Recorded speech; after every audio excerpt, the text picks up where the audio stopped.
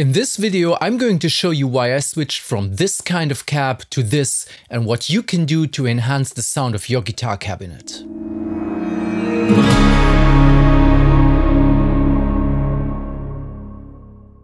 Hey everybody, welcome to Tidalwave Studio. My name is Patrick Damiani and today I would like to talk a little bit about guitar cabinets.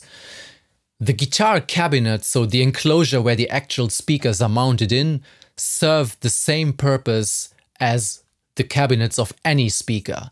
This is to separate the front sound of the actual speaker from the rear sound, because the speaker emits sound in both ways, but we only want to hear the portion that's coming out in front. If both would mix up together, then you would get crazy phase cancellation, resulting in a poor sound. A while ago, a colleague and I worked together on the development of an own speaker system, which eventually resulted in the speakers I'm using today. And back then, I experimented a lot with different shapes and internal structures of speaker cabinets. And I found out that there are a lot of similarities between speaker cabinets and the acoustics in an actual room. And uh, later I thought, why not try and apply what I learned there to guitar cabs? And back then I did a lot of measurements and experiments. And today I recreated some of those experiments for you to listen to and see what happens if you do some modifications to the cabinet. And I want to show you what I found out.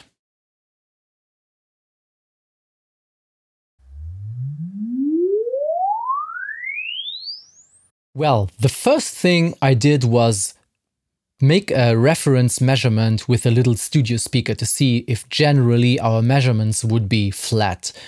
So this is as flat as the speaker is able to produce and I didn't use any smoothing to see every nuance.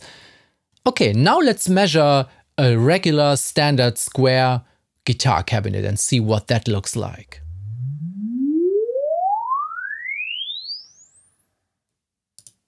Okay, that is a lot different. We have a lot of cutouts and bumps all over the frequency range. And this looks like heavy comb filtering. Let's focus on this area for a second.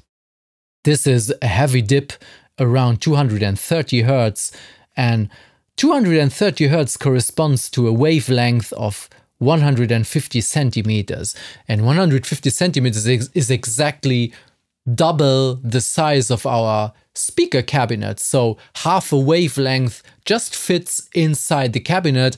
And I suspect there is some cancellation going on due to standing waves inside the cabinet. So let's try and break those parallels by just opening up the cabinet and placing a board in one corner, closing it again, and see what happens if we break that parallel inside the cabinet. And this is what we've got as next measurement. Okay, look at this. Before and after. We really smoothed out that region here by breaking those parallels. Now let's open up the cabinet again and try something on top of this little change that we did. We put in some acoustic wool, just like you would have inside a good studio or hi-fi speaker and see how that changes the measurement. Okay, so this is the empty cabinet and this is with some wool inside. We can see that it further smoothes the frequency response. Without, look at this. And with, it's much smoother. Or this area here, without, still have more bumps. And with the wool inside, it's just smoother all over the frequency range. So inserting this wool is a little bit like treating acoustically a real room, like putting some absorbers on the walls and reducing more echoes and cancellations inside of that room. And this apparently works as well inside a speaker cabinet.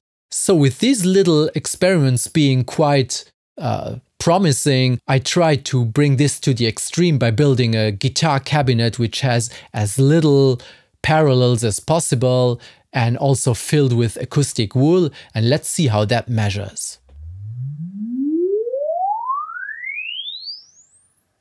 So as a reference, here we have the basic square cabinet we started with and this is my custom cabinet. It's much, much, much smoother. We don't have crazy bumps like these. It's much flatter. And all these comb filtering effects we have up here, they are almost completely gone. So we see that by working on the shape of the cabinet, we can drastically change the sound of the speaker itself. So now is a quick little comparison how the empty square box compares to the custom cabinet. I quickly recorded a little riff on a guitar and fed it back into one speaker and fed the same signal back into the custom built speaker. And now let's see how different both sound.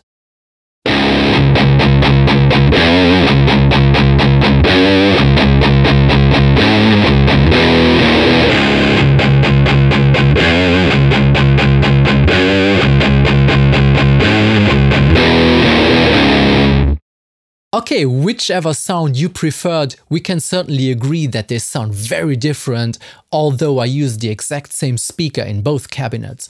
I prefer the one with the flatter response, it sounds less phasey and grippier to my ear. But maybe it inspires you to experiment a little bit on your own with your guitar cabinet and see if you can improve the sound to your liking. I hope you enjoyed this little excursion inside guitar cabinets and if you like this video, please subscribe to the channel so you can see more content like this. And if you need help with your production, check out the link to Tidalwave Studio in the description below. See you, bye bye.